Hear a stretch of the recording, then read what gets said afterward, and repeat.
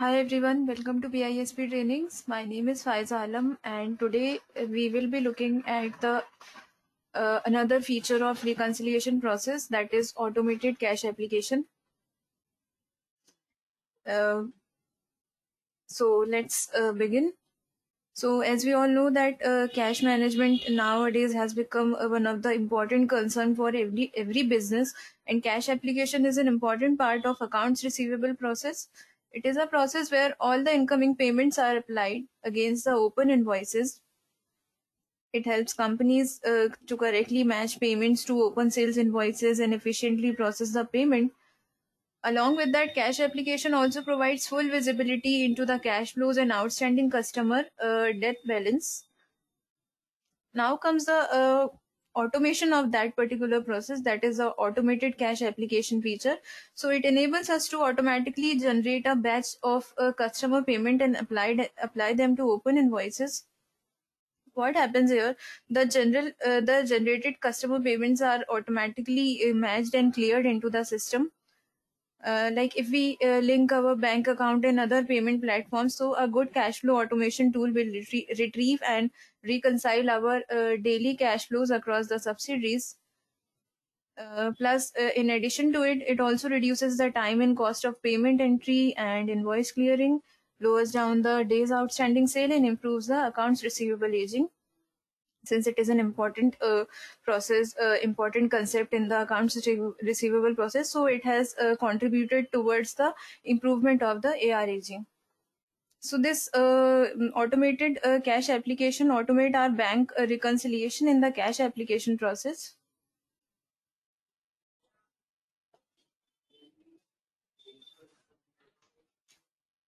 So in our NetSuite application, in order to work on this uh, feature that is automated cash application. Uh, there are certain prerequisites that are uh, required to be uh, uh, accomplished. So before uh, firstly we have to see the account the bank account that we are taking must have that particular check mark. So for that we'll go into setup accounting. Under chart of accounts we'll be open a open an account here so this is the account. Uh, you can see that this box should be checked. If we are going to uh, take this uh, feature, if we are going to work on this feature, so this use match bank data and reconcile uh, account statement pages should be checked. This is the first requisite. Then there are also certain permissions that are required to be taken. Uh, so for that, uh, we should have the permissions of this automated cash application. The access level should be full then we should have the customer payment of cre- uh, create access level. Then we should have the invoices that is there that is the edit level. So we should have these access level in order to work on it. Uh, after it uh, there are certain accounting preferences uh, that uh, needed to be uh, set. So we'll go into accounting preferences under the general sub tab. We'll go down here under the accounts receivable so here, uh, this is under the accounts receivable. Uh, what happens? We have to uh, select a method. Like uh, what uh, if since uh, the payments are applied under this method, the payments are applied onto the open invoices. So if we are going to apply the payments that are not having any invoice number, so there are various options that are available to us. Like what kind of a matching logic are we going to take? So we are having these options like apply by payment to oldest invoices, then apply to oldest invoices by date of aging pre- aging preferences, and then keep payments unapplied. So we can define our or specify our preferences if the payments are not having any invoice number. So we can define uh, or select those uh, matching logic here. So we are done with the prerequisite. Now we'll see uh, how can we uh, start this uh, automated cash application process. So for that, we'll go into transaction bank banking import history, upload file. We'll be uploading a file first. Choose a file. This is the file that I will be selecting. I am not taking any financial institution. I have taken this uh, format, sorry, default parser. Now I have to take the account. I will click on import. Now after this, we have to track the status, whether our import has been successful or not. So you can see that the status has got completed successfully. After importing the uh, file, as we have imported that particular file, so let me show you the file. What is it? Here you can see that it contains the, this is the uh, template that I have downloaded from the upload page, uh, upload uh, file page. It uh, contains date, then the name of payer and payee, transaction ID, transaction type. The transaction type I have taken is payment. It, it consists of all the incoming payments. Then we have amounts also. If any invoice number is required to be provided, so we can define those uh, invoice numbers here. So this is my Excel uh, file that I have uploaded for that particular bank account. Now we'll go back.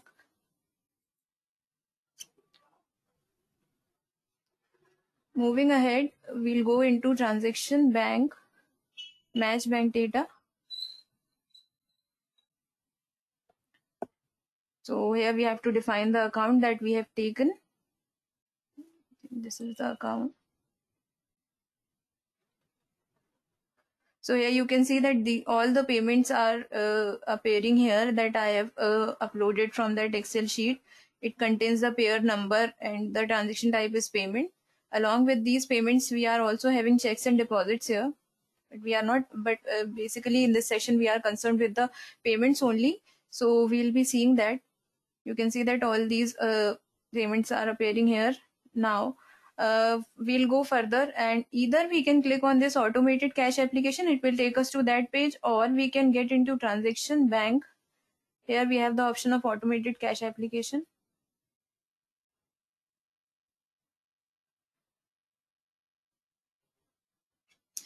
Now we have to uh, take the account. We have to take that account. This one So here you can see that this we are on the uh, automated cash application page. Uh, we have taken at least uh, six lines uh, that are uh, there that is uh, that have been uploaded here. So it you know the status that is provided to us is we want to either we want to review. So we will be taking only the payments. we are not taking these things here so you can see that the status that is there is ready to submit means that uh, we just have to uh, it is already ready to submit we do not have to review it. And the invoice that is used against this payment invoices are uh, being given here if any invoices are there. And uh, there are certain things that uh, we have to take care of. Uh, you can see that this message box here. So it, uh, it gives us the notification that this imported payment contains incorrect, incorrect customer or invoice information. So uh, if we take another one for nrt system so if i take here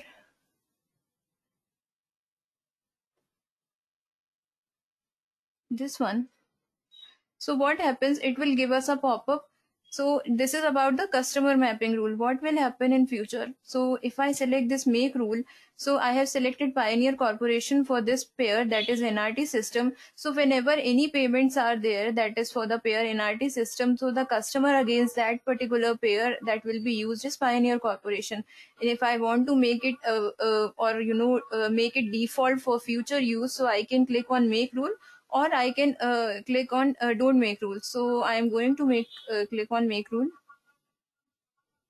So you can see that for Pioneer Corporation, uh, the invoices that is there is uh, invoice underscore 4224.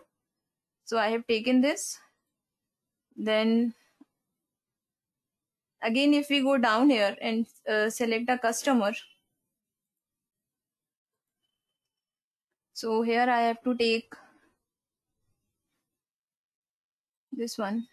Again i want to uh, make this uh, uh, apple inclusive as the payer for this one two three four groups and i want to make a rule. I have clicked on it. Now you can see that as we have uh, made rule or we have selected a customer so the status has changed to to review. We just have to review it. How how do we review that? By clicking on this plus icon it will uh, expanded uh, the invoices that contains all the invoice detail to us. What is the due date of that invoice? What is the original amount? How much amount are we going to apply? So all these things are available. Apart from this we are also having the ability of viewing all the invoices that are available for this particular customer. So we'll click on it. So you can see that right now we are having only one invoice for this customer customer and the invoice amount original amount is this and the amount due is this. We'll click on save. We can collapse it.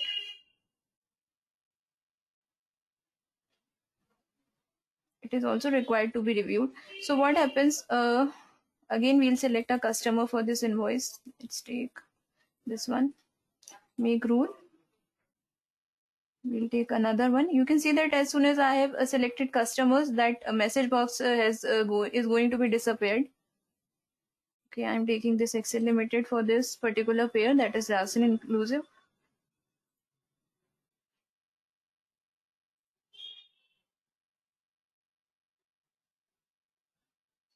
There is some uh, uh, problem with this customer. Okay so we will be leaving this. Now we will be checking the box. I am not checking it. Uh, we will be checking all the payments here.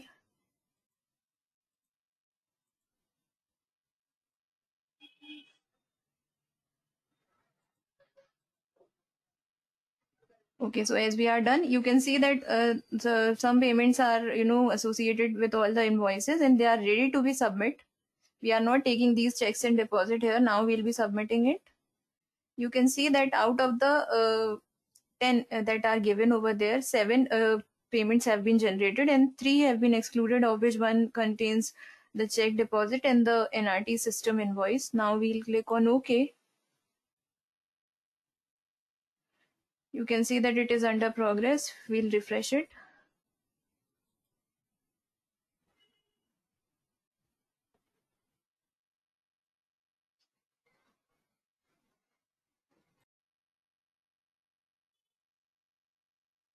So you can see that now we got the status that all our lines have been processed. We got the status of complete and our uh, generation of payment is being successful. These payments number are given of which uh, it has been made. So if we click uh, any of it, like if we view this payment that is hash 141,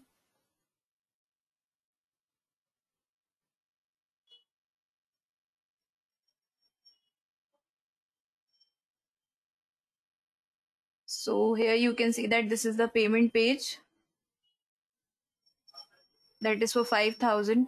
The customer that have taken is a uh, sent a shop. This is the AR account. The account that we have selected is this. This is the date of the invoices invoice. So we have seen how this uh, payment is there. So we are done with generating the payment. Now, if we go back to that particular uh, automated cash application page. Take account here, that one that we have taken. So you can see that now those all the uh, seven payments have been processed and it has been reconciled. That is the uh, that is our concerns for today. You can see that all those seven payments have been uh, re uh, reconciled. Only these uh, three are available for this particular bank account. So in this way, we can do the uh, uh, reconciliation of our all the incoming payments, and we can use those payments against all the invoices that are open. So that's all about the this feature. In case of any doubts and queries, you can write to us at www.bispsolutions.com. Thank you.